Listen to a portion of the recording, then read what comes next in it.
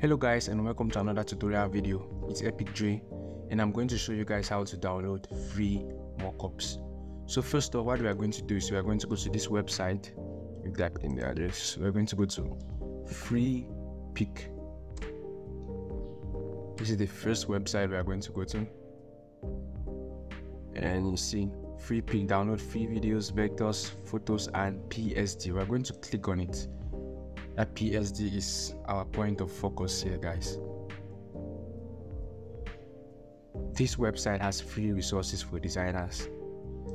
Now let's search a billboard mockup. Billboard mockup. Just going to close this. As you can see, these are the various mockups that have been loaded. That have been loaded. And now to have just mockups and not images, we're going to filter so we have just the Photoshop document, PSD. As you can see now, these are just PSDs of different billboards. The ones with the crown you cannot download. You need to subscribe. Have a premium subscription before you can download those particular ones. But there's a lot of free PSDs for you to use. Now, the next website we are going to go to is Vecteezy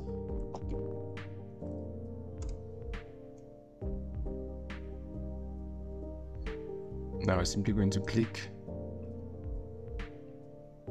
Now let's search.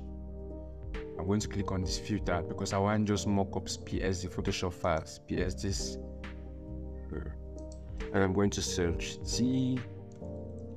Shirt mockup. As you can see these are various t-shirt mockups for you to choose a lot of free mockups, a lot of them. So as the second site I use a lot and should try it out as well.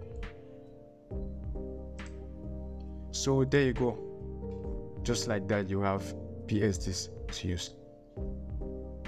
If there's something else you want to know how to get, don't forget to let me know in the comment section. And if you enjoyed this video, please leave a like and subscribe to my channel. Thank you.